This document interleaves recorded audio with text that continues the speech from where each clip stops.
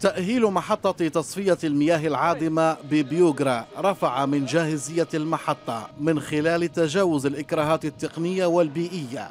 مشروع حيوي. رصد له غلاف مالي يقدر بثمانين مليون درهم.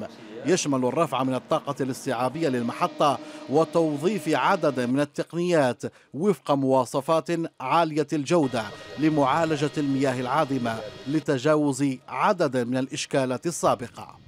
الهدف ديالو توسعة شبكة آه، يعني تطهير السائل بالمدينة وكذلك إنجاز محطة جديدة اللي جات لمعالجة بعض الإكراهات السابقة التي كانت كت يعني كت كتعيشها المحطة السابقة التي أنجزت في 2004 المكتب من خلال هذه المحطة يقوم بتتبع مردودية التنقية في هذه المحطة وذلك طبقا للمعايير المعمول بها وطنيا.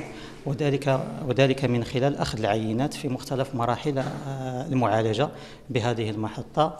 وهذه المحطة تعتمد آه، واحد التقنيه اللي هي متطورة. تأهيل هذا المشروع المهيكل بالمدينة تزامن مع إطلاق الشطر الثاني من مشروع التطهير السائل بمدينة بيوغرا والذي شمل توسعة شبكة التطهير لتشمل كافة أحياء المدينة. كنا كنعانيو آه، قبل ما يجي هذا المشروع هذا آه، الريحة والناموس ودابا الحمد لله ملي جا هذا المشروع هذا الأمور تحسنات. كنا نعانيو من هذا الشيء ديال الريحة وديال الناموس وديال الزناقي فيهم الماء وداك الشيء ولكن الحمد لله دروك الحمد لله.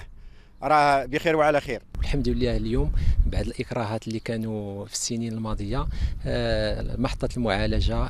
كتشوف النور اليوم بهذا النظام الجديد ديال لاكونا جايري اللي الحمد لله غادي الساكنة غادي تهنى من من من الروائح الكريهه هما مشروعان متكاملان يدخلان ضمن البرنامج الوطني لتطهير السائل لتعزيز البنية التحتية بمدينة بيوغرا وتأهيل عدد من المرافق وتجويد الخدمات المقدمة للمواطنين.